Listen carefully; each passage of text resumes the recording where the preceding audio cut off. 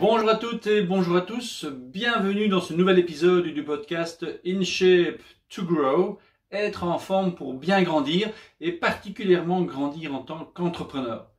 Je pense que tous ces entrepreneurs qui, partout sur les différents marchés, proposent des services, des produits qui leur tiennent à cœur, ont besoin d'avoir une santé à toute épreuve. Parce que ces derniers mois, ces dernières années ont été très stressantes, très troublantes. Il faut pouvoir garder le cap. Et donc ce podcast a pour mission de remettre ou de mettre la santé au cœur même du business plan.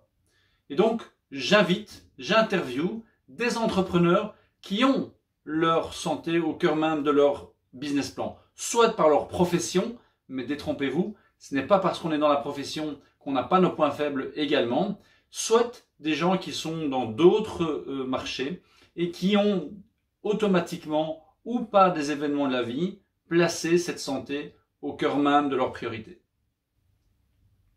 Alors pour l'épisode d'aujourd'hui, j'ai l'immense plaisir de vous présenter Pierre de Fraise, qui est l'initiateur de Verisme TV, une chaîne YouTube avec plus de 60 000 abonnés. Et pourtant, il présente des sujets très techniques. Il est un passionné de la physiologie, il est un excellent orateur, un excellent enseignant, et d'ailleurs, il ouvre l'année prochaine son école de naturopathie. Vous allez découvrir que au départ, il n'était pas du tout dans le domaine de la santé, il a fait l'expérience à l'international, il est revenu, il s'est formé. Et aujourd'hui il est considéré comme un des meilleurs entraîneurs de France en termes de performance. Pourquoi? Parce qu'il associe la naturopathie avec les principes de l'hormèse. Vous ne savez pas ce qu'est l'hormèse? Eh bien, cette capsule, cette interview va vous passionner. Vous allez, au-delà de découvrir qui est Pierre de Fraise, vous allez également apprendre des choses et retourner après cet épisode avec de vrais outils. Je vous souhaite une très belle écoute et comme d'habitude, n'hésitez pas à vous abonner à la chaîne, à vous abonner au podcast et à poser vos questions si besoin. Prenez soin de vous. Eh bien, bonjour Pierre, comment vas-tu aujourd'hui? Salut David, je vais très bien, je te remercie. Et toi? Écoute, je suis très très heureux de t'avoir pour ce podcast.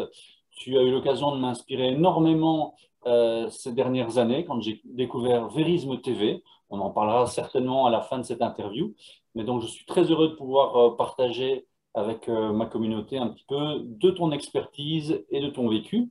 Est-ce que tu me permets justement de revenir sur certains éléments de, ta vie et de ta carrière? Avec grande joie, bien sûr.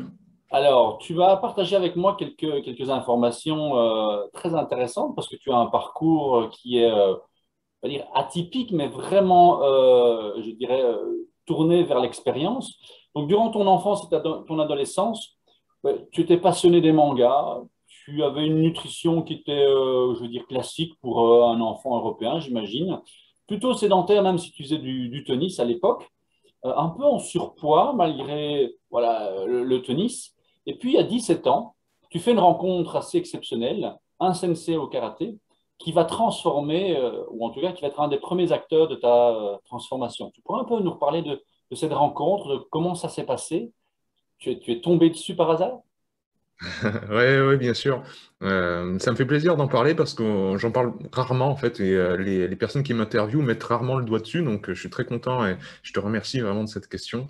Je pense que ça a été une découverte, enfin une rencontre sans doute à la hauteur de, de toi avec Paul Check, c'est-à-dire ces grands monsieur tu vois, qui, qui simplement par leur présence nous inspirent beaucoup.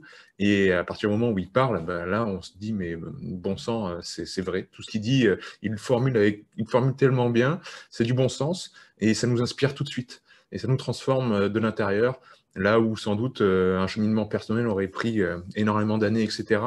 Et euh, cette enfance que tu as décrit là, où j'étais un petit peu replié sur moi-même dans le manga vidéo, un petit peu en surpoids, donc pas trop de copains, pas trop de copines, etc. ce prof de karaté, ça a été quand même la première personne à me dire tu es beau, tu es fort. voilà, personne en, face de toi, elle n'est pas plus importante que toi. quand tu vas aller, donc j'avais 17 ans, donc il me disait quand tu vas aller faire un stage, quand tu vas aller en entreprise, etc. Pas parce que la personne en face de toi, elle a un costard cravate, qu'elle est plus importante que toi. Hein. On est tous des personnes extraordinaires. On est tous beaux, belles, peu importe. Et, tout ça, ça me sautait à la figure, tu vois, comme des nouvelles informations. Je disais, ah bon, j'ai le droit de me considérer beau aussi, etc. Fort, intelligent. Voilà. Et, euh, et c'est ça, en fait, hein, la, voie des arts martiaux. Hein, tu sais que voilà, dans, le bushido, dans le, dans le judo, dans le karaté-do, on utilise toujours ce do. Et le do, en japonais, ça veut dire la voix. Euh, cette voie-là, c'est avant tout une découverte de soi-même. Euh, on prend le prétexte des arts martiaux, mais c'est pour un voyage intérieur avant tout. Et ça, se mettre, se mettre soi-même en avant, se, se, faire confiance, ça m'a vraiment, vraiment changé la vie.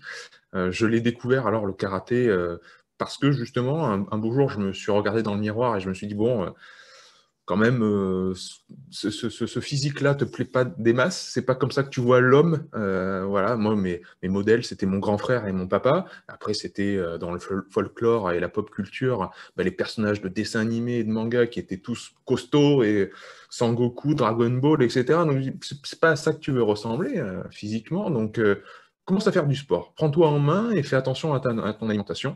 Et, euh, à 500 mètres de chez moi, même pas, il y a un gymnase avec des cours de karaté. Je dis, bah, je, vais y aller euh, et, on va, et on va voir tout ça. Donc, cette rencontre s'est faite à moitié par hasard, mais en tout cas, ce prof de karaté m'a vraiment euh, chamboulé. ça, et donc du, jour au lendemain, tu as pris ces paroles et tu t'es engagé dans, cette voie-là avec des entraînements, avec une remise en question. Ce qui, à 17 ans, voilà, n'est pas, pas une chose spécialement spontanée quand on est dans son confort de manga, de, d'un peu de, repli sur soi-même. Et du coup, pendant plusieurs années, tu, pratiques donc euh, le, karaté. Et alors, chose extraordinaire, quand j'ai lu ton, euh, ta biographie, c'est qu'à 20 ans, tu fais un saut immense, tu pars au Japon. Et tu pars pour y vivre plusieurs années avec un projet. Raconte un petit peu comment ça s'est passé. Oui, finalement, euh, on va parler plus tard hein, dans, ce podcast de, la loi de l'Hormèse, de, sortir de sa zone de confort, etc. Euh, ce concept-là, je l'ai trouvé tard dans, ma vie euh, et sans m'en rendre compte, finalement, je, l'ai pratiqué parce que je me suis rendu compte que, en fait, je ne m'en rendais pas compte. J'avais l'intuition que si je faisais un truc extraordinaire, ça allait me changer. En bien ou en mal, je ne savais pas en fait la résultante, mais je savais que après cette expérience-là, je serai transformé. Mmh. Et euh, le fait d'être dans un cocon familial, euh, euh, j'adore ma famille, on s'aime beaucoup, mais on est, comme on s'aime beaucoup, on se protège aussi beaucoup et on crée un cocon qui a ses bons et ses mauvais côtés. eh bien, je me suis dit, ça, c'est bien, il y a plein de bons côtés, mais ça peut être aussi un frein au à mon développement personnel. Et je sentais bien que, voilà, comme je l'ai dit juste avant, j'étais quelqu'un de, un adolescent plutôt timide, plutôt réservé, plutôt à part dans son coin. Et je me suis dit, si tu fais un truc extraordinaire du genre, tu sors complètement de cette zone de confort, tu pars pas une semaine en Espagne, mais tu pars un an au Japon, à l'autre bout de la planète, quand tu vas revenir, mais en fait, tu seras une autre personne. Tu seras, ce sera incroyable. Donc, euh, le niveau de peur était jusque-là, évidemment. Euh, j'avais, euh, j'avais toutes les entrailles qui. Et j'ai beaucoup pleuré. J'ai voilà, vraiment une appréhension pas possible à, faire ce, voyage. Mais voilà, en troisième année de licence, il y avait la possibilité de postuler pour une année d'échange. Et je suis allé faire une, année d'études à Nagoya, à l'université de Nanzan. Euh, qui ça a été la plus belle année de ma vie, hein, je le dis souvent, parce que c'est des expériences qui sont absolument incroyables. Euh, bien sûr, ça a été très, très difficile de quitter le foyer, mais euh, voilà, ça m'a permis de, grandir euh, énormément à tous les points de vue, de, rester finalement après six ans hein, là-bas au Japon, d'y travailler, d'y vivre. Tu es revenu et puis tu es reparti ou tu es resté là-bas? Alors, la première année d'études, euh, elle s'est passée, et puis après, j'ai quand même fait un master, euh, donc j'ai terminé ma licence, et puis je suis revenu, j'ai fait un master à Lyon, euh, donc LEA, donc c'est langue étrangère appliquée, anglais et japonais. et une fois validé le master, je suis reparti au Japon, et là, j'y ai travaillé, voilà, j'ai trouvé un boulot là-bas et j'y ai travaillé. donc, tu, y travaillais en japonais, si je comprends bien alors? Oui, oui, bah oui, j'ai travaillé en japonais. de, surcroît, j'étais euh, j'étais responsable commercial. Donc, quand tu es commercial, j'ai voyagé de, loin en large, hein, dans le Japon, du nord au sud. Je, je, connais tous les hôtels, enfin, vraiment la vie de commercial. Quoi, hein. euh, Et c'était pour un groupe industriel français qui s'appelle Gravotech, qui est leader dans les machines de gravure. Donc, c'était vraiment du, gros industriel. J'allais euh, chez les concessionnaires de voitures, chez Toyota, chez, voilà, pour présenter en fait nos machines et nos logiciels. Et euh, le truc, c'est que j'étais tout seul au Japon. Pour cette grosse entreprise, j'étais le responsable au Japon. Donc, je sillonnais euh, de long en large, de Hokkaido à Okinawa, ah. ce, beau pays du Japon, et, euh, je me suis régalé, vraiment régalé. Ah ouais, ça j'imagine ça doit être une, expérience pour chacun. Hein. Je peux très très bien comprendre, puisque j'ai eu l'occasion de partir aussi un an à l'étranger durant mes études. On m'avait proposé le Japon, mais j'avais justement une, appréhension sur la, le choc culturel. Et, là, toi, tu, tu, fais le pas tu y vas et tu y retournes et tu y travailles pendant plusieurs années.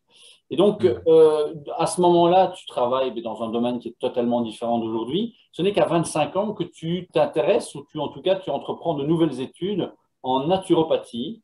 Et c'est là que tu découvres peut-être de manière plus précise l'hormèse, c'est ça? Alors, euh, l'hormèse va arriver un petit peu plus tard, mais, euh, mais oui, on, est dans cette continuité-là. Donc, il faut savoir qu'à 20 ans, quand je pars au Japon, plus ou moins en même temps, mon, père tombe malade d'une leucémie. Euh, donc, il tombe malade, donc c'est encore plus dur de partir parce que je le vois euh, dans les chimiothérapies. Donc, euh, tu imagines le physique, comment il se transforme. Donc, la personne devient complètement, perd les cheveux, etc. Donc, c'est très dur. quand je pars de, France, il est vraiment en hôpital, en chambre stérile. Donc, voilà, je, m'en vais. Donc, là, c'est assez terrible. mais j'y vais quand même parce que j'ai au fond de moi vraiment cette. puis, je suis soutenu quand même par la famille qui me dit on te soutient à 100%, vas-y, mon père aussi me dit vas-y. Donc, euh, donc voilà, donc j'y vais pour le boulot parce que je sais que euh, j'ai cette âme d'entrepreneur, hein, c'est aussi ça dont on va parler, c'est être maître de sa vie et vraiment vouloir ce que l'on veut. Euh, donc j'y vais donc voilà à 20 ans et puis à 25 ans je le perds, je perds mon père.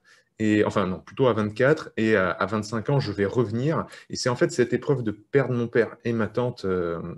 ma tante est décédée d'une euh, crise d'épilepsie, euh, aussi très jeune, euh, mon père aussi très jeune. Et quand même, je me suis dit, bon sang, c'est, c'est pas possible qu'on puisse pas faire de la prévention par rapport à la santé. c'est, là où ça m'a sauté aux yeux. C'est-à-dire qu'on a passé plusieurs années où voilà, on a tout testé, les chimiothérapies, les radiothérapies, les, les greffes de moelle osseuse, les greffes de cellules souches, d'embryons de bébés. En fait, j'ai vu tout l'intérieur de l'allopathie et de la médecine actuelle qui a sa place. Hein. Je ne dis pas qu'elle n'a pas sa place, mais euh, je me suis dit, mais avant ça, est-ce qu'il n'y a pas moyen que les familles qui entourent les malades, parce que j'ai pu voir à quel point moi, euh, mon frère, ma soeur, ma mère, on a souffert en fait. Il n'y a rien de pire en fait de voir un, proche souffrir et d'être dans l'incapacité de l'aider. Ça, je pense que c'est le summum. La personne qui souffre en elle-même, euh, bon, quand tu souffres, tu souffres, mais faire souffrir les autres, c'est quand même assez terrible. Et je me suis dit, bon, bah, premier job qu'on a à faire, travailler sur soi prévention, ne pas tomber malade. Donc en amont, qu'est-ce que je peux faire? Euh, Mon hygiène de vie. Et ça, bah, ça te mène directement à la naturopathie qui est euh, la science de la prévention. C'est-à-dire, normalement, on va voir un naturopathe quand tout va bien, et on veut juste savoir, pour rester en bonne santé, qu'est-ce qu'il faut faire? bon, c'est jamais le cas, mais normalement, c'est jamais euh, avec cette, euh, cette optique sur le symptôme où euh, j'ai tel problème, dites-moi quelle plante il faut que je prenne. non, un naturopathe, on va le voir pour avoir des conseils de bonne hygiène de vie. Et ça, ça m'a passionné et je suis rentré là-dedans hein, grâce à ça. Et, là, avec le départ prématuré de, de, ton papa et de ta tante, ça a été vraiment un processus ou alors tu as su directement te diriger vers la, naturopathie Parce que là, entre ton adolescence où tu étais euh, ben, à, fond dans le manga, dans, dans un autre monde, euh, et que toi, physiquement, tu n'étais pas au top, et puis tu as transformé ça progressivement, tu es allé à l'autre bout de la planète, ça a été énormément de, de challenges. Et donc, quand tu reviens en France, tu savais exactement ce que tu allais faire? Pas vraiment. Euh, en fait, le fait d'en faire son métier, alors la santé, c'est clair qu'à partir des 17 ans, la rencontre avec le prof de karaté, le sport, l'alimentation, tout ça s'est mis plus ou moins au cordeau, même si bon, l'alimentation, c'était pas tip top non plus, mais c'était mieux, c'est beaucoup mieux qu'avant. Donc, euh, nourriture industrielle, c'était out, euh, mais euh, voilà, beaucoup plus clean. Et surtout, le sport, je, suis tombé amoureux de ça et je suis passé partout, boxe anglaise, partout, CrossFit, tout ce que tu veux. Et en rentrant en France, j'avais vraiment cette découverte de la naturopathie, mais ce c'était pas pour en faire mon métier en fait, c'était vraiment pour prendre soin de, moi et des autres. Voilà, c'était vraiment une découverte personnelle, une passion on m'a rapidement dit que euh, j'étais très bon à le transmettre et, que, et à l'incarner et que je devais en faire mon métier. Mais ça me faisait rire. Je dis, mais faire mon métier, je ne vais pas devenir comme ça, naturopathe. Euh, là, j'ai créé une entreprise, euh, donc en revenant du Japon, qui s'appelle Japan Provence, qui existe toujours, pour créer des ponts commerciaux et culturels entre le Japon et la France. Donc ça, c'est voilà, c'est une de mes activités, une de mes casquettes d'entrepreneur. Euh, et donc, j'étais pas du tout dans euh, la santé. Euh, tu vois, je, j'exporte des produits de qualité et j'en importe d'autres, du thé matcha, du thé vert du Japon. voilà, j'ai exporté quelques vins parce que je, suis d'Avignon, donc de la vallée du Rhône, où il y en a un très bon vin, donc j'en, ai, exporté au Japon. Voilà, ce genre de business-là, c'est toujours une de mes branches. Mais la santé, non, c'était pas. Voilà, c'est que quelques années plus tard, je ne saurais pas dire, un an ou deux, ça, ça, ça a un peu mûri dans, dans, ma tête, où je me suis dit, bon, bah, tu vas faire une formation de naturopathie, une vraie. Donc, je me suis formé à Esculap, donc une école de naturopathie qui est à Aix-en-Provence. Et puis j'ai ouvert mon cabinet, et puis de fil en aiguille, euh, je me suis spécialisé dans, le côté sportif. Donc euh, voilà, maintenant j'accompagne des, sportifs pros. Je fais un coucou à Pierre Bordeaux, s'il nous regarde, qui est un jeune du, 10 km, qui est l'un de nos meilleurs espoirs et qui sera sans doute à Paris 2024. Euh, l'équipe des, Flammes Carolo de, basket aussi, qui est la huitième équipe de France. voilà, je suis spécialisé là-dedans avec euh, cette optique sur le renforcement et l'hormèse. Euh, donc ça a été, euh, là encore, une nouvelle découverte. comment on peut se... Les épreuves de la vie peuvent nous renforcer. C'est un petit peu ça au niveau physiologique aussi. Oui, c'est extraordinaire parce qu'effectivement, hein, tu dis pas tout à l'heure, cette façon de transmettre, c'est comme ça que j'ai découvert ta chaîne Verisme TV. J'ai tout de suite accroché parce que je suis un passionné de science, mais également vers cette approche beaucoup plus euh, holistique ou beaucoup plus global. Et, euh, et ça vaut vraiment la peine d'aller voir euh, quelques vidéos et puis on devient accro et puis voilà, on passe des heures à, écouter et à réviser. Donc ça, c'est vraiment top. Mais tu ne t'arrêtes pas là parce que on avait déjà échangé par, par email auparavant et parce que malgré les formations en naturopathie qui sont un domaine, je dirais bien bien cadré, tu rajoutes cette connaissance et cette découverte de l'hormèse, mais tu continues à te former J'en cite quelques-uns, hein, Portal, Christian Thibaudot, Maurice Dubar, Wim Hof, Mathieu Boulet, Julien Pinault, Michael Mendel. Et donc, cette euh, envie d'explorer que tu as eue quand tu es parti au Japon, et puis cette envie d'explorer quand tu es revenu en France en t'intéressant à la, naturopathie, qui était quand même euh, à la base totalement, pas, pas opposée, mais très loin de ton domaine d'expertise euh, au Japon, même si au Japon, tu avais quand même eu cette relation avec la nature qui était un peu différente de ce que tu connaissais euh, en Provence. Et donc, euh, qu'est-ce que, durant toutes ces années, donc en 2014, tu lances ton cabinet, là, tu as déjà pas mal de succès, et tu continues à te former. Qu'est-ce qui te pousse justement à aller chercher d'autres informations? Euh, On a ce point commun, effectivement, de pouvoir aller chercher des, opposés. Paul Check est un de mes premiers mentors, justement, où on peut avoir quelqu'un de, de très musclé, très physique, faire de la relaxation, de la méditation. Et donc, chez toi, dans ton parcours, Qu'est-ce qui t'a poussé à aller comme ça, chercher à, à 360 degrés? Ouais, c'est une excellente question. Je pense que c'est dans l'air du temps finalement. Euh, je pense qu'on est de plus en plus amené euh, vers ça. Euh, c'est très américain de venir participer à des workshops, de, faire des stages, etc. je pense que mes voyages m'ont beaucoup influencé là-dessus voilà, être, ouvert aux, cultures. Déjà, parler plusieurs langues, ça, aide évidemment, mais donc dès qu'on se nourrit un petit peu plus sur Internet, sur YouTube de, de, contenu anglo-saxon, on se rend compte que euh, eux font des workshops, donc des, stages, comme on dirait en France, partout, tout le temps.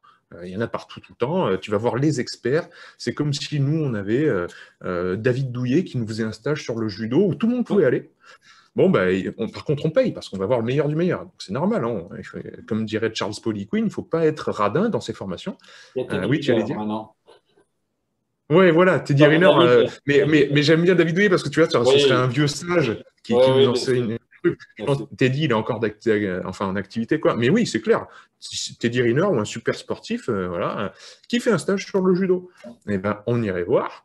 Et, pratiquant de judoka ou pas, débutant ou pas, et on se formerait pendant une semaine avec cette personne. En mhm. fait, c'est ça que j'ai fait et c'est ça que j'adore parce que ça met plus de barrières à l'entrée. C'est-à-dire l'apprentissage, il n'y a plus de barrières. Alors sur YouTube, évidemment, sur Internet, euh, c'est le summum, c'est-à-dire il y a zéro barrière pour l'apprentissage et la connaissance. Mais euh, là, c'est rencontrer en vrai et aller faire un stage, quand même un, niveau au-dessus de pédagogie, euh, avec des cadors. Donc, tu as cité Ido Portal dans le mouvement, pour moi, c'est une rencontre extraordinaire.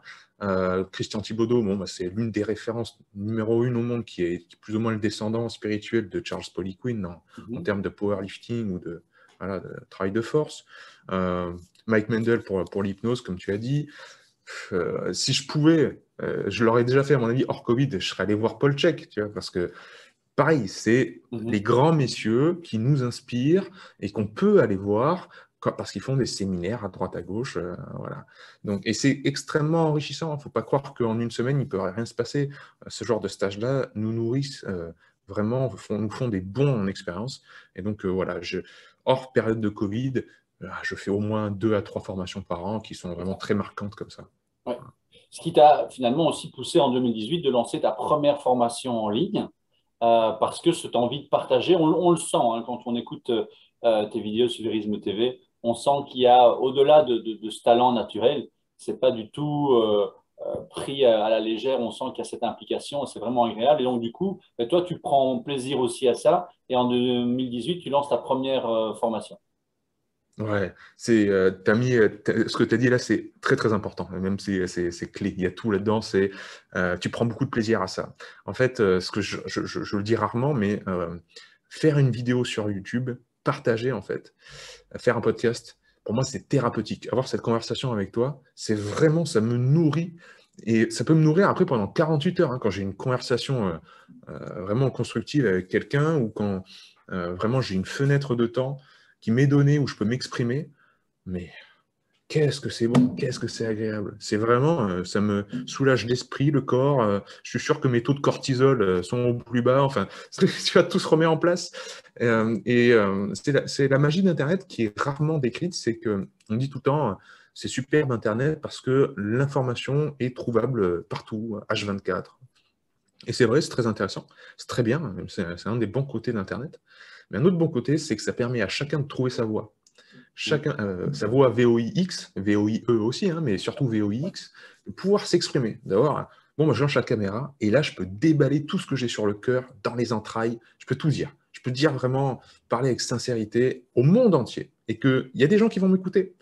Alors que chez moi, peut-être que par la timidité, par les rapports sociaux, parce que c'est ma famille, parce que c'est mes amis, je vais peut-être pas tout dire, je vais garder les choses pour moi. Et ça, c'est fabuleux. Vraiment, moi, ça m'a changé. Et quand j'ai commencé Verisme TV, donc cette chaîne YouTube, je le faisais juste pour ça, pour m'amuser, pour moi. Et ça a pris de l'ampleur et ça, a très bien marché. Et de fil en aiguille, euh, les gens m'ont dit, mais en fait, euh, on voudrait aller plus loin. Les vidéos YouTube, c'est super, mais on voudrait. Euh, ça m'a été demandé de faire des formations en ligne.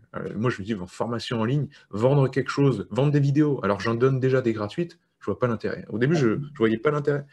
Et puis, je me suis dit, finalement, si tu arrives à Vraiment, par contre, à rentrer dans les détails et, faire un contenu avec un, fil rouge où les personnes vont vraiment comprendre euh, une progressivité euh, et donner des conseils, ouais, pourquoi pas. Et puis, en fait, euh, c'est super. En fait, c'est super d'apprendre aussi comme ça. Et donc, ta première formation en ligne, tu proposais quoi en 2018 par rapport à ce que tu fais aujourd'hui? C'était le thème des, exercices physiques fonctionnels, donc à la, vraiment à la IDO Portal. Donc, on va travailler au poids du corps pour tout le monde. Voilà. Oui, parce qu'aujourd'hui, euh, on, va en parler dans quelques instants, tu as euh, énormément de propositions en ligne, en dehors de, de Verisme TV, qui continue justement à, vivre et à attirer énormément de, followers, comme on dit. Parce qu'aujourd'hui, tu l'as dit tout à l'heure, hein, tu es consultant professionnel pour les, sportifs de haut niveau, tu as un centre de formation et une école qui va s'ouvrir euh, dès l'année prochaine. tu, suis des, des, clubs professionnels, tu as fait une collaboration, enfin tu as une collaboration avec euh, Idriss Aberken. Et donc, c'est vraiment dans, par rapport à ce que tu avais il y a finalement euh, moins de dix ans, euh, oui, à peu près. Euh, c'est une, une, évolution au niveau de l'entrepreneuriat qui est, qui est, vraiment impressionnante. Et du coup, si je peux me permettre, à travers toutes ces expériences et ces influences, Pierre, pourrais-tu partager avec, avec la communauté les routines, les programmes, les habitudes que tu as pu tirer et qui te conviennent On est bien d'accord qu'il faut pouvoir trouver son, son, propre équilibre par rapport à son histoire, par rapport à d'autres paramètres. Mais toi, si je reprends euh, le, modèle des quatre docteurs de, Paul Check que tu connais, docteur mouvement, docteur repos, docteur euh, menu, docteur bonheur, quelles seraient les routines que tu intègres au quotidien aujourd'hui? Oh Il va nous falloir deux bonnes heures. Hein. non, je rigole. Euh, alors, en fait, les routines découlent d'elles-mêmes. Les routines, c'est de mon hygiène vitale et surtout, je ne me les impose pas. Elles, elles, elles, elles sont vraiment dans, oui, dans mon hygiène de vie, donc ça devient de la cohérence et c'est pas du tout euh, une checklist que je me dis euh, il faut que je fasse ça, il faut que je fasse ça, il faut que je fasse ça. Non, non, non. C'est, euh, vraiment, pour moi, c'est une évidence. c'est devenu mon rythme de vie. Donc, surtout, respecter les cycles circadiens. Donc, vraiment, on a une horloge biologique qui est indexée sur la lumière du soleil et la nature. C'est-à-dire que si le matin, euh, vous ne voyez pas le soleil, euh, on a certains neurones hein, qui s'appellent les neurones à mélanopsine qui sont dans le bas de la rétine, euh, qui, captent la lumière du soleil et qui informent le noyau suprachiasmatique, qui de l'hypothalamus, donc à l'intérieur de votre cerveau, et qui dit il fait jour ou il fait nuit. En fait, ça capte la luminosité, non seulement le spectre lumineux, donc vous savez, lumière bleue, lumière jaune, mais aussi l'intensité de la lumière.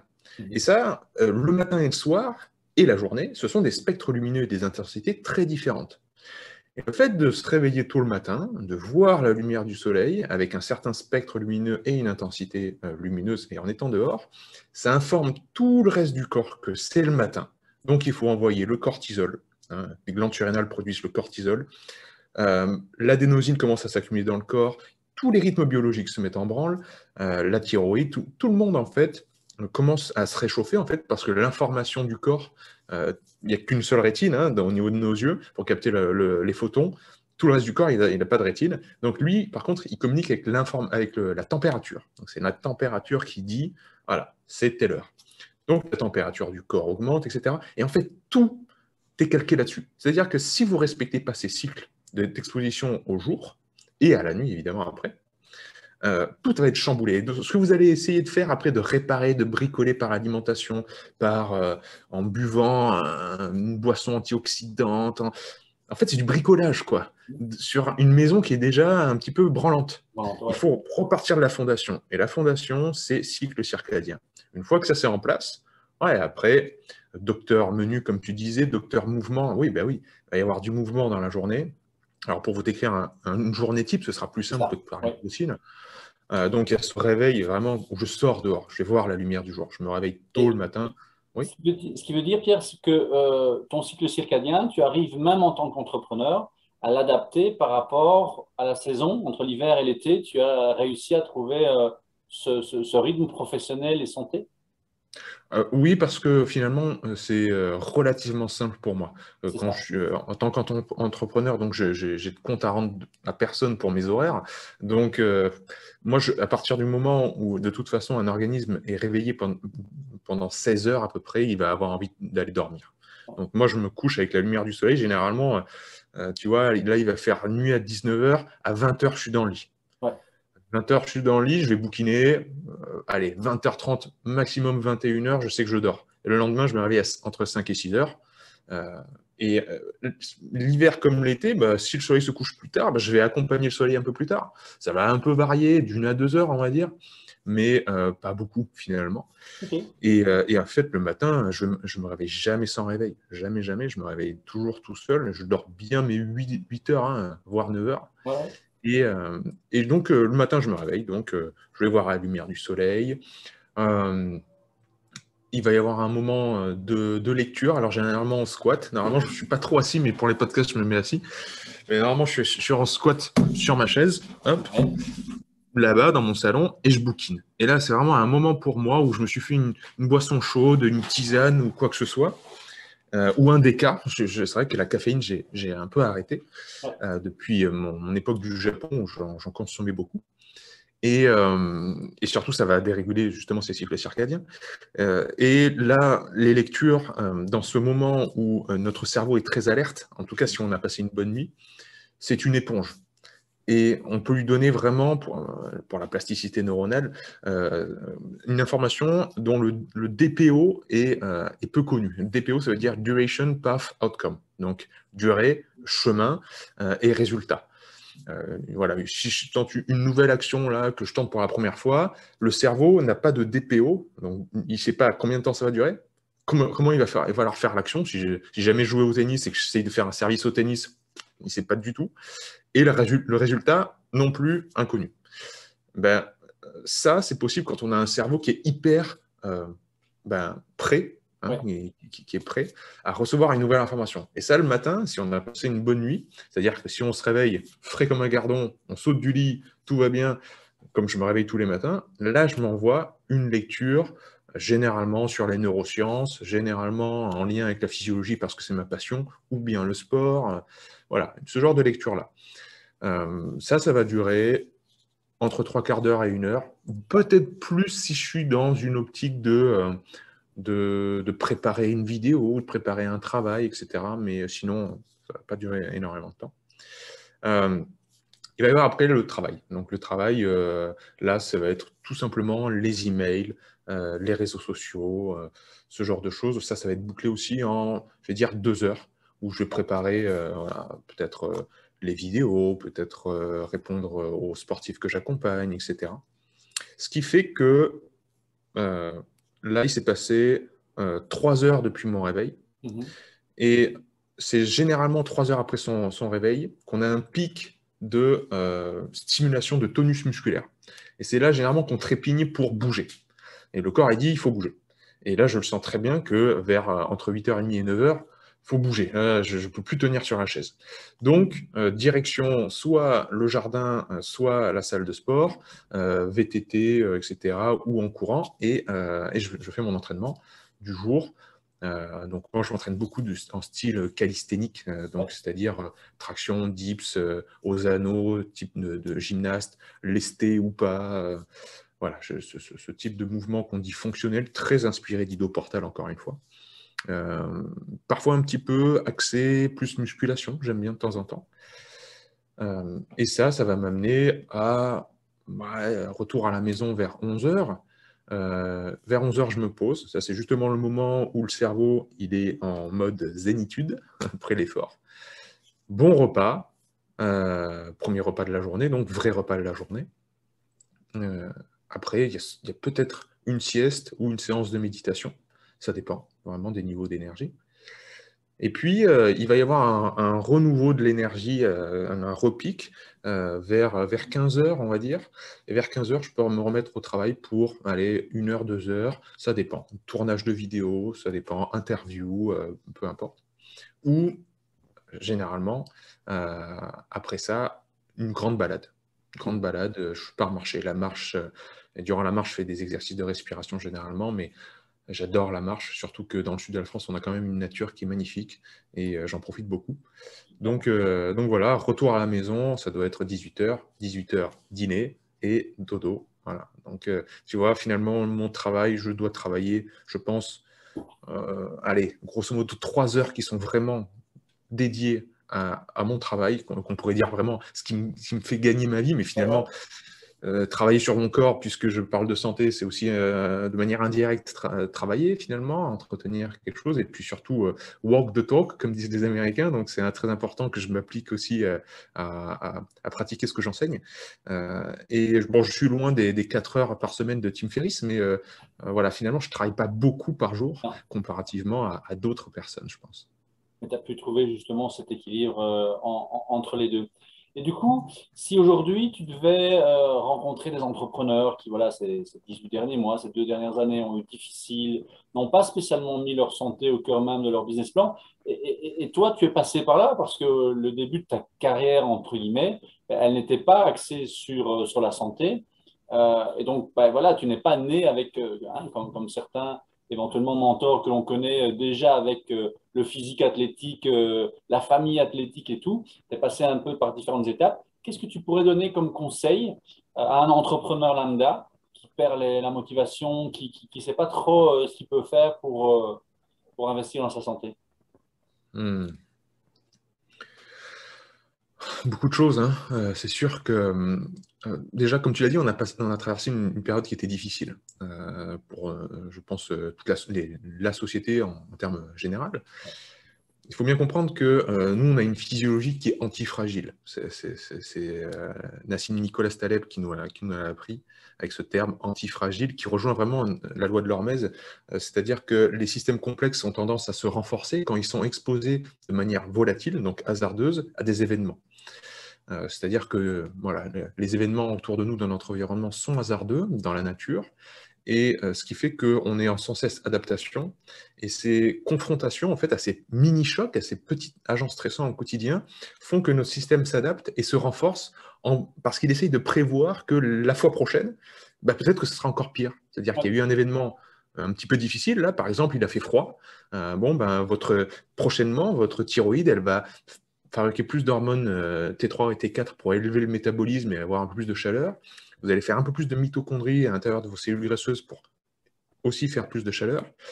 Parce que autant, euh, on ne sait jamais, mais plus tard, il y aura euh, un événement encore plus froid. Si vous pensez à votre entreprise, la crise qui, nous est passée, qui, qui, est en train de passer d'ailleurs, elle nous a bien révélé la fragilité de nos systèmes. Les systèmes mis en place, économiques, sociaux, etc., ils sont très fragiles parce que à cette perturbation qu'a été cette crise, ils se sont effondrés. Alors que normalement, les perturbations, comme je vous l'ai dit, les, systèmes se renforcent. Donc, il y a une, leçon à tirer de tout ça, c'est si vous avez un système qui est euh, suroptimisé, c'est-à-dire qui cherche la linéarité et qui, en, en évinçant les, agents stressants, ça, c'est la recette pour l'échec. C'est la recette pour vraiment le jour où il y a un, pépin, un, un, truc dans le rouage, etc., tout s'effondre. Le château de cartes tombe. Il ne faut pas suroptimiser. Il faut euh, s'accorder vraiment des expositions hasardeuses, des prises de risques. Hein. Euh, c'est vraiment l'entrepreneur, il va parler comme ça, il va parler de prise de risque. Euh, au niveau de la santé, comment ça se traduit? Ben, C'est de temps en temps faire des douches froides, faire des bains froids, faire du sauna, faire du sport très intense, stimuler en fait, chercher l'inconfort du, côté entrepreneuriat, qu'est-ce que ça veut dire? Bah, C'est la prise de risque, c'est euh, tenter une nouvelle chose, euh, c'est euh, faire attention à justement ce qui n'est pas une suroptimisation, une linéarité dans toutes nos activités. Est-ce qu'on a des optionnalités? C'est-à-dire que, est-ce que si là, est-ce que je dépends d'un seul client? Est-ce que je dépends d'une seule activité? Et si lui, il fout le camp, bon, bah, qu'est-ce qui me reste? Est-ce que je peux me rabattre sur autre chose euh, voilà, la débrouille, le bricolage, c'est vraiment la voie de l'apprentissage. Et euh, Taleb prend aussi cet exemple-là, la différence entre un, banquier ou, euh, un, ou un trader qui est vraiment dans son microcosme avec un salaire lisse, lissé sur toute l'année, qui est le même sur toute l'année, etc. Pas de risque, pas de fluctuation dans son activité. Et un chauffeur de taxi chauffeur de taxi, chaque jour c'est différent. Il ne sait pas s'il va avoir 10 clients, 0 clients, 20 clients. Euh, il ne sait pas s'il va, il va devoir changer de quartier, etc. Mais le chauffeur de taxi, certes, il vit dans l'incertitude, il vit dans la volatilité, les événements hasardeux, mais parce qu'il est dans cette difficulté-là, il a développé un sens de la débrouillardise absolument dingue. Il a développé déjà un bagou euh, pour euh, voilà, fidéliser les clients euh, pour que les clients le rappellent après, pour que ce soit lui qui, le rappelle. Euh, un sens vraiment de la géolocalisation. Il connaît les quartiers de sa ville par cœur, etc. Il connaît les raccourcis. Il connaît la mécanique. C'est un chauffeur de taxi. Il a mis les mains dans le cambouis de temps en temps pour voir dans le moteur, etc. Ce qui veut dire que si jamais ça s'arrête, euh, son, activité, il pourra devenir mécano ou se reconvertir dans, quelque chose d'autre. Il peut changer de quartier si du jour au lendemain, dans son quartier, il n'y a pas de touristes il, a des options. Il a des, options pour changer, pour. Euh, voilà. Si jamais il y a une tuile, il y a un truc qui arrive dans son activité. Le banquier, le trader, s'il se fait virer du jour au lendemain parce qu'il y a un crack boursier, tout ce qu'il sait faire, c'est être trader. Mais là, euh, s'il y a un crack boursier, il n'y a, plus personne qui veut des traders. Donc, il ne sait rien faire d'autre.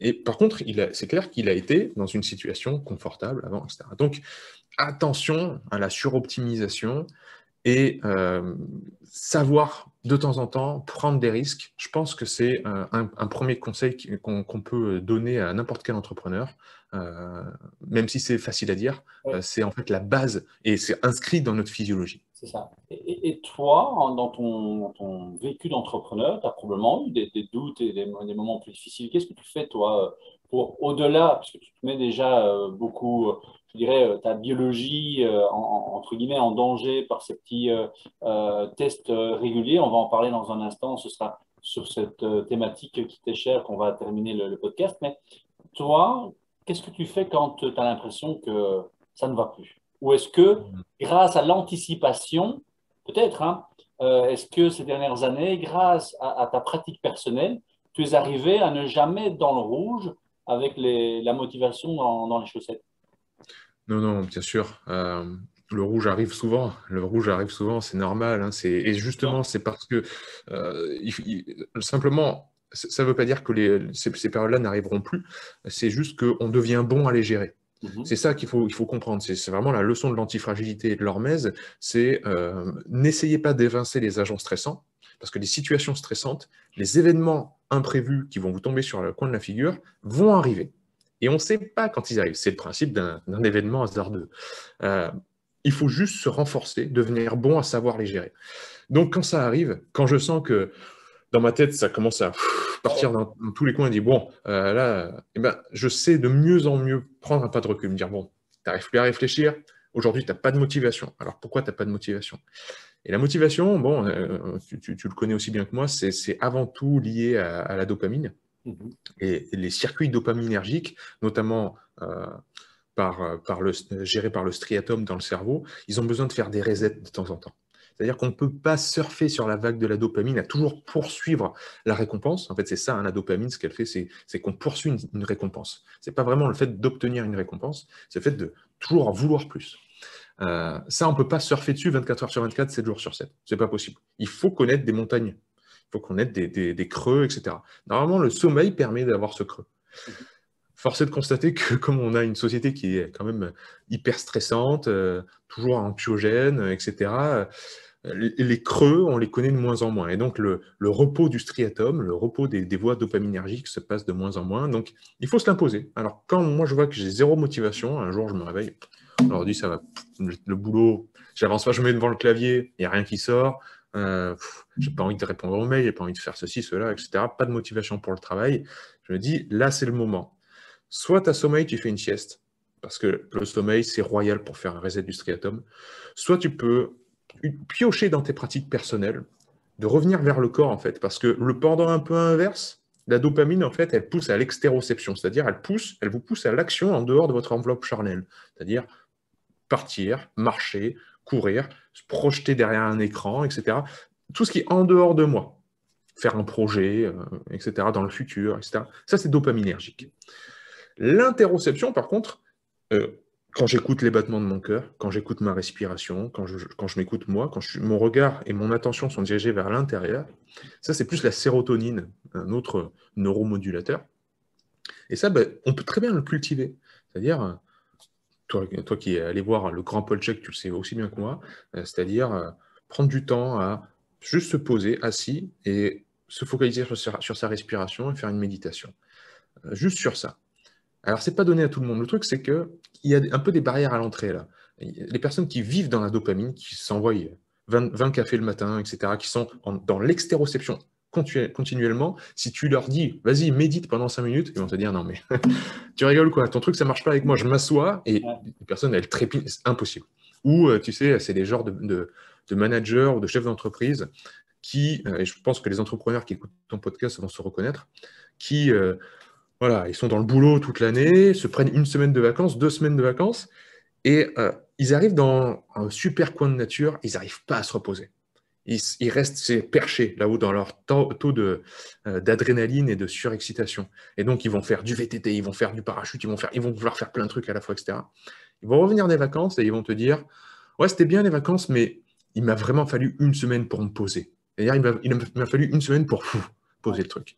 Parce qu'ils sont dans l'extéroception continuellement et ils sont toujours en train de chercher un stimulus externe à eux. Ils ne peuvent, ils peuvent pas regarder à l'intérieur d'eux. Donc ça, c'est une petite barrière à l'entrée pour, pour la méditation. Donc on peut, euh, par un truchement, alors il y a les techniques de respiration, c'est super, parce qu'on va mettre des cadences, c'est-à-dire faites de la cohérence cardiaque, vous comptez dans votre tête 5 temps sur l'inspire, 5 temps, 5 temps sur l'expire, ce genre de choses. Très facile à mettre en place pour tout le monde. Ça, ça calme tout de suite le système nerveux. Mais il y a un truc que j'adore, depuis plusieurs années, moi je suis devenu un grand fan, c'est ce qui s'appelle le NSDR. c'est un acronyme qui veut dire Non-Sleep Deep Rest, c'est-à-dire le repos profond sans le sommeil, sans dormir. Et euh, en fait, c'est une, forme de, body scan, donc de scan du corps, où tu as une voix qui te parle, c'est guidé, et qui te dit euh, euh, le pouce de la main gauche, index de la main gauche, majeur de la main gauche. Et en fait, il énumère toutes les parties de ton corps que tu dois répéter dans ta tête et visualiser. Mhm. Donc, tu es complètement guidé. Il n'y a pas de place à des pensées parasites. S'il y en a, hop, tu reviens sur la voix de la personne qui te guide. Et tu visualises tes propres parties du corps, en fait. Et ça, ce que j'ai dit tout à l'heure, c'est interoception, visualisation vers l'intérieur. Et là, le striatum qui fait la dopamine et la motivation, il se met au repos, il fait son reset. Ça, j'adore. Donc, c'est soit sieste, quand tout, euh, tout, tout s'emballe et que je, sens que j'ai un petit peu sommeil. Et si j'ai pas sommeil, NSDR, si je me sens, et, que j'ai le temps et que j'ai la possibilité, évidemment, balade en forêt, balade en nature, ça, c'est royal. Écoute, Pierre, euh, c'est une vraie pépite là, que tu viens de, donner euh, lors de cette interview parce que euh, on voit de plus en plus d'adolescents ou de jeunes adultes hein, qui sont dopés à la dopamine et qui n'arrivent plus à se poser, qui sont perdus parce que ça fait deux ans qu'on leur enlève leur, leur fête, leur sortie et qui, ça, qui sont perdus. Donc là, c'est vraiment quelque chose qu'il faut pouvoir partager avec les entrepreneurs. Mais je pense aussi à cette jeune génération. Hein, 14-16 ans, les deux dernières années, on leur a enlevé beaucoup de choses. Et malheureusement, l'écran est resté là pour euh, justement les évader. Mais ça a un point vraiment euh, négatif. Écoute, un tout grand merci, Pierre. Et donc, pour terminer ce, podcast, parce que c'est une de tes spécialités, pardon, c'est grâce à toi que j'ai mis des mots sur certains ressentis et j'ai mieux compris ce phénomène d'hormèse. Est-ce que tu peux en quelques mots définir l'hormèse et dire pourquoi la découverte, l'intérêt de l'hormèse chez un entrepreneur? Tu en as déjà parlé un instant, donc c'est un petit euh, lien beaucoup plus euh, euh, global. Pourquoi découvrir l'hormèse pour un entrepreneur pour être un outil de renforcement personnel, mais également dans son expérience entrepreneuriale? Oui, bien sûr. Bah, écoute, euh, ce mot Hermès, on le connaît tous plus ou moins, mais c'est vrai que le fait de mettre un mot dessus, bah, c'est quand même plus euh, simple pour comprendre un concept. Euh, en fait, il a été énoncé la première fois par Hugo Schulz, qui était un, toxicologue qui s'amusait à mettre des toxines sur des, champignons, des levures. Et il s'était rendu compte que mettre un tout petit peu de toxines faisait proliférer les levures, ça augmentait la population de champignons. Mais s'il mettait trop de toxines, eh ben, ça tuait les levures. Donc, une petite dose d'un poison stimuler un organisme vivant. Et en fait, ça, c'est la même chose pour nous. Euh, alors, les pratiquants de musculation connaissent très bien ça. Ça s'appelle la surcompensation musculaire. C'est tout simple. Hein. vous allez à la salle, vous soulevez de la fonte, vous déchirez, euh, et puis vous dormez bien, vous mangez bien, et puis le lendemain ou le surlendemain, vous avez plus de muscles qu'au départ, que la veille. En fait, vous avez créé de la masse musculaire. Il y a eu une surcompensation suite à un stress. Et l'hormèse, en fait, c'est ça d'une manière beaucoup plus globale. Hein. au niveau cellulaire, on a des, certains gènes qui vont s'exprimer quand alors, généralement, le dénominateur commun, c'est quand même la sécrétion de catécholamine, donc euh, les hormones adrénaline et noradrénaline, qui sont les hormones vraiment qui sont face euh, sont euh, sécrétées dans un stress ou dans le besoin d'utiliser de l'énergie dans le corps. On connaît bien l'adrénaline. en fait, c'est une activité intense une activité intense qui est euh, comprise pour le, corps comme une forme de stress. Si elle est ponctuelle et adaptée à l'organisme et qui peut s'en relever, eh bien, il va se renforcer, c'est-à-dire que le point d'arrivée va dépasser le point de départ. Et ça, c'est vrai au niveau de votre système immunitaire, c'est-à-dire les globules blancs qui euh, combattent les virus et les bactéries, etc. Mais aussi bien au niveau de votre système hormonal, qui va gérer euh, voilà, toute la communication dans votre corps, que votre système nerveux, euh, que votre système musculaire, que votre système osseux. Donc, tous les plans de votre corps peuvent se renforcer, en fait, à ce niveau-là. ça, ce qui est génial, euh, c'est qu'on peut le cultiver donc de manière très, une approche très physique, mais ce que j'adore, c'est qu'il y aura toujours une approche mentale derrière ça. pour les entrepreneurs, c'est absolument clé euh, d'avoir cette euh, faculté mentale de pouvoir se relever quand il y a une épreuve, de, faire face à un, stress, à un danger pour son entreprise, avec quand même une clarté d'esprit et une capacité à surmonter cette épreuve. parce que, voilà, une fois que vous avez fait un bain froid, une douche froide le matin, vous savez, enfin, vous avez, vous commencez la journée avec une victoire. Je peux vous dire que toute la journée, ça diffuse en vous. toute la journée après, les clients, vous les voyez arriver, vous avez un problème, un mail, un, conflit d'intérêt ou quoi que ce soit, mais tout, tout semble beaucoup plus anodin et vous arrivez beaucoup plus à prendre de la distance parce que vous êtes en paix avec vous-même, vous vous sentez surtout fort. Euh, ça permet d'avoir justement cet amour propre qu'on a tendance, je pense, hein, à, perdre de nos jours. C'est-à-dire, euh, je suis capable de faire des trucs quand même en dingue. Euh, bon, j'ai confiance en moi. Et en fait, ce surplus de confiance en soi, il va vraiment nous permettre de. Il y, a un très haut taux de transférabilité, en fait, grâce à l'hormèse. C'est-à-dire que ça va nourrir tous les pans de notre vie, notamment notre activité professionnelle. Moi, je le vois très bien dans tout ce que j'entreprends. Euh, c'est rigolo parce que je ne t'avais pas donné cette information-là, et pourtant, moi, c'est clé. Mais tu, as cité Idriss Aberkan tout à l'heure, euh, avec qui je. c'est un ami avec qui je collabore beaucoup, mais euh, je, suis aussi très euh, en lien avec Gunther Poli. Euh, Gunther Poli, c'est euh, le mentor d'Idriss, qui est monsieur économie bleue, donc c'est le monsieur qui défend l'environnement en quatre coins du monde. Et là aussi, j'ai investi dans des entreprises qui, qui, m'a présenté. je suis très investi là-dedans et je ne pourrais pas le faire, j'aurais pas le même regard et j'aurais pas le même engagement vis-à-vis de, de l'entrepreneuriat si j'avais pas un minimum confiance en moi, si j'avais pas une ligne de conduite et euh, je pense que, voilà, comme je l'ai dit tout à l'heure, prendre soin de soi au niveau de la santé, euh, il y a un très haut taux de transférabilité pour toutes nos activités finalement. Tout à fait, et tu, as, bien commencé l'exemple pour que chacun puisse le comprendre avec l'entraînement physique, hein, la surcompensation. Mais le point clé pour moi, c'est l'entraînement, parce que certaines personnes vont dire Oh, moi, je ne pourrais pas faire ça. Mais on ne commence pas du jour au lendemain à se plonger dans un bain à, à 3 degrés pendant une demi-heure. Enfin, je veux dire, c'est un exemple absurde parce que ça ne se fait pas, mais ça se prépare mentalement comme physiquement par des petits pas. Et au bout d'un an, deux ans, trois ans, ben, on se rend compte que, comme tu l'as dit, on devient antifragile physiquement, mais également mentalement, et on arrive à, s'adapter, euh, je dirais, à, l'environnement, à l'économie qui change, et à n'importe quel événement qui soit émotionnel, physique, on peut justement euh, être beaucoup plus euh, résilient. J'ai eu, j'imagine que tu as déjà écouté Cyril, Boris Cyrulnik. oui, sur la résilience. Voilà, récemment, mais voilà, il y, a plein d'éléments comme ça qui peuvent nous permettre, même si on n'est pas dans le domaine, de, de, de, grandir. En tout cas, Pierre, oui, tu allais rajouter? Ouais, j'allais dire quelque chose pour rebondir par rapport à ce que tu disais. Euh, un point clé à comprendre, c'est qu'on ne devient pas antifragile. Mhm. On l'est à la base. C'est inscrit en nous. On l'est déjà. En fait, l'antifragilité, ce n'est pas une capacité à développer. Ce n'est pas quelque chose qui va être acquis durant notre vie. C'est quelque chose d'inné. C'est juste une faculté à utiliser. Et vous le savez tous, c'est-à-dire que, comme j'ai dit tout à l'heure, moi j'ai commencé euh, avec un cabinet euh, naturopathie à recevoir monsieur et madame tout le monde. Et quand on est thérapeute, on a des gens qui arrivent, et parce qu'on est thérapeute, ils nous font confiance, ils se mhm. sentent dans un lieu de confiance, et donc ils nous livrent leur vie, vraiment, comme ça, ils te racontent tout. Et là, j'ai eu des histoires de vie où la petite mémé, elle m'a raconté qu'elle avait traversé euh, trois guerres, elle avait eu deux cancers, et... enfin, on a tous traversé trois fois l'enfer. Mmh. Je vous ai raconté que j'ai perdu des proches, etc. Mais vous aussi, je suis sûr, hein, toi aussi, je suis sûr que tu as eu des épreuves terribles dans ta vie, mais on est toujours là. Mmh. C'est-à-dire qu'on met toujours le doigt sur les, événements terribles, les épreuves qu'on arrive, qu'on a vécues comme des événements négatifs, au lieu de considérer le fait qu'il y a toujours une croissance post-traumatique. Il y a toujours une croissance après un événement, même s'il est dramatique. Et on en grandit. Donc l'antifragilité, on l'a déjà en nous. Il faut juste la mettre en lumière, se dire, mais ouais, en fait, c'est je l'ai déjà, cette capacité en moi de, traverser les épreuves. Donc, euh, si je suis débutant en exercice physique, il suffit juste que je, me mette à mon niveau et que je me challenge un petit peu, et, puis après, la, machine va prendre.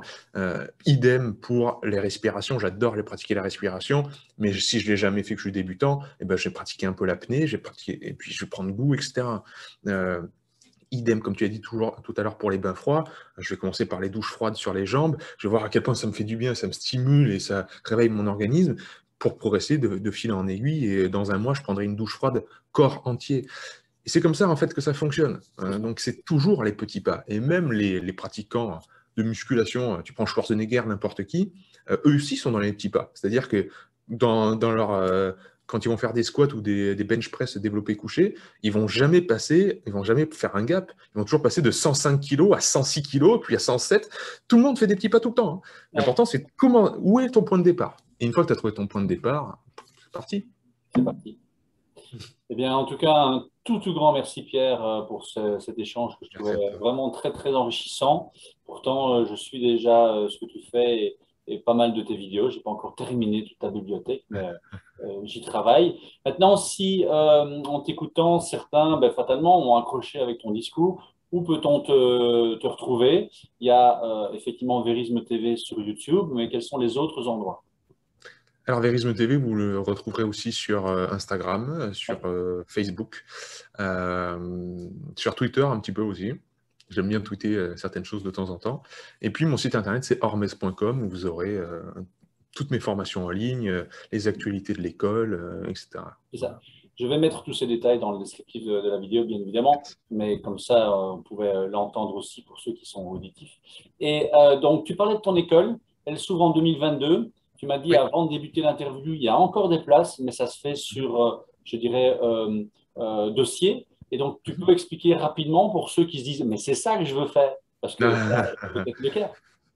Alors pour les personnes qui veulent se former à la naturopathie et à l'hormèse, donc c'est-à-dire que je vais évidemment prendre le, pilier central qui est la naturopathie parce que j'adore, c'est une très belle philosophie de, de, de, voie de prévention où on va faire la nutrition saine, l'hygiène de vie, tout ce qui touche à la naturopathie.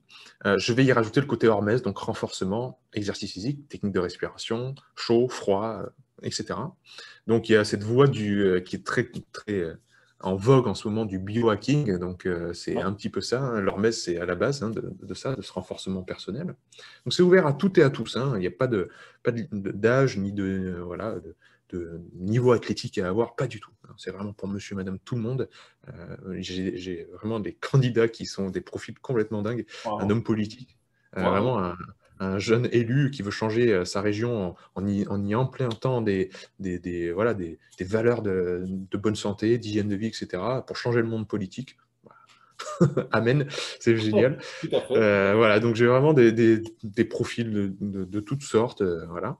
Et euh, oui, il faut candidater. Donc, vous allez sur ormes.com et vous, vous verrez le, lien pour, pour candidater. Euh, et, après, on passe un entretien. Et, voilà. Et voilà. Et donc, c'est un, cursus qui se fait sur deux ans? Sur 18 mois. 18 mois. Et tu as d'autres intervenants. J'ai vu un euh, été avec Georges Mouton il n'y a pas longtemps. Et c'est un médecin que je connais assez bien ici quand j'étais en Belgique.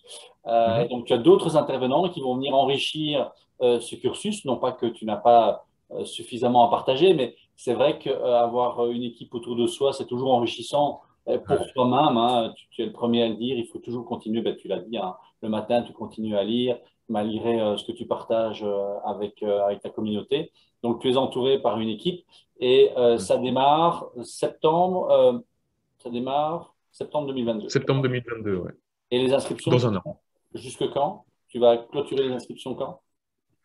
Là, il y, a, déjà 129 euh, inscrits. Euh, c'est problématique parce qu'il va falloir qu'on fasse plusieurs classes, mais c'est pas un problème. On va. Il y a aussi des personnes qui sont euh, dans les dom-tom qui pourront pas venir au stage. Donc, je proposerai une formation qui sera 100% en ligne, 100% autonome. voilà. Sinon, la, formation de base, hein, celle que je propose actuellement pour pour rejoindre l'école, c'est une forme hybride. Donc, c'est à la fois des cours en ligne et à la fois euh, des stages euh, sur place dans le sud de la France. Donc euh, voilà, on va contenter tout le monde, il n'y aura pas de problème. Mais voilà, les candidatures sont, sont ouvertes. Et oui, comme tu dis, il y a une équipe de, de, folie qui est en train de se mettre en place avec des préparateurs physiques qui ont, sont dans mon réseau, qui ont des champions olympiques, avec Fabrice Vivier qui est dans l'équipe nationale de, de, bodybuilding et qui est naturopathe, naturopathe bodybuilder. Euh, Georges Mouton qui, qui voudra bien nous faire une visioconférence aussi, enfin voilà, des, des, des cadors. Donc ça va faire une école magnifique. J'essaie de créer mon Paul Check Institute euh, dans le sud de la France. Donc euh, voilà. Génial.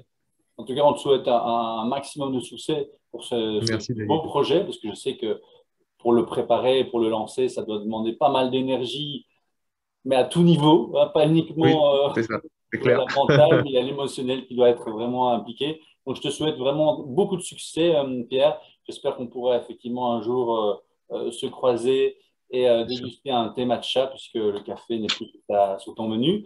un tout grand merci à toutes et à tous d'avoir suivi cette extraordinaire interview. Je vous souhaite une bonne fin de journée, une bonne soirée. Je vous donne rendez-vous la semaine prochaine. Prenez soin de vous et n'oubliez pas, mettez vos commentaires, contactez Pierre et à très bientôt. Salut, salut. Salut David.